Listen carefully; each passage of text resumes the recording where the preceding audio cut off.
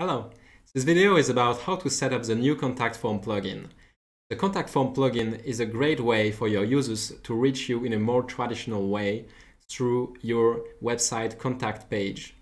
So the contact form plugin basically generates a form asking for the user email, the subject, as well as a message. Uh, the contact form is protected with a CAPTCHA so that spam bots cannot reach you uh, and spam your Crisp inbox, basically. So let me give you how to set up the contact form on your website. It is very simple, only takes two to three minutes. So what we will need is just um, um, an access to our HTML code for our website and an account with HCAPTCHA, which is uh, a CAPTCHA service, which is free and respectful of your users' privacy. So let's get to it.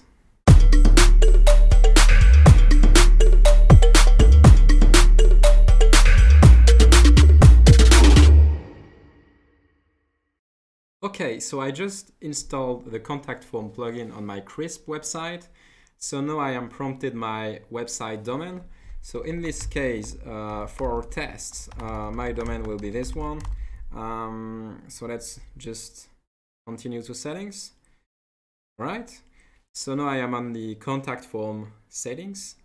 Um, I should uh, right now um, basically go to the help article about the contact form and set up this iframe code. So as you see on the code we provide, um, you should replace this section with your CRISP website ID. So the CRISP website ID can be obtained from your CRISP website settings uh, in the um, integration guide. So typically as you did with the chat box. Okay, so I already prepared my iframe code for my um, test website. So my website ID is there. So let me just um, copy paste it. Okay, so this is my test page, which is uh, basically my website contact page. So I just have to paste the iframe code here uh, containing my website ID. Okay, and just go to my demo page and reload. Boom. So um, I have my contact form here. So basically I can enter my full name, email address, subject and message um, to contact uh, my Crisp inbox. Um, you, you see that an error is shown right here. Um, basically the contact form cannot be submitted because the CAPTCHA is not configured. Uh, the CAPTCHA protects your website against spam bot, basically. Uh, so I need to obtain a um, CAPTCHA key from HCAPTCHA uh, which is a service we use.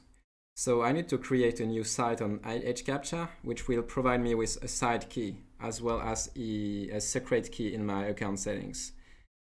Um, so I just need to go to security and input my site key and secret. So my secret just gonna be that for the purpose of this video. Let me save, okay, and reload from there. And as you can see, um, the contact form is not fully available. So I, I, can just input my email address, subject, hello, hello, I need uh, some help. Uh, can you reply to me? Thanks, okay? Then I'm gonna send a message and the CAPTCHA will be appearing. So I can also um, configure and customize a lot of stuff on my contact form. For instance, I can uh, add categories so for instance, the user can pre-select um, like uh, topics uh, about what the user is contacting you about, and it will basically appear in the contact form here um, and in your app. I can also inject custom CSS. Uh, so for instance, if you want to modify the color of the send message button, you could basically inspect the element here um, you know have the class here and just custom customize the button color of the button uh, to match your website identity. So that's it. We just configured our contact form and included it on our contact page on our website. Uh, so you saw it's very simple only takes like two to three minutes.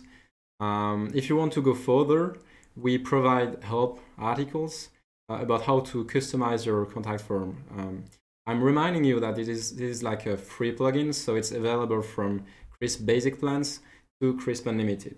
Um, you have any question, just feel free to reach our customer support. We can assist you on feature requests as well as uh, technical questions and implementation issues. Uh, so thank you for watching.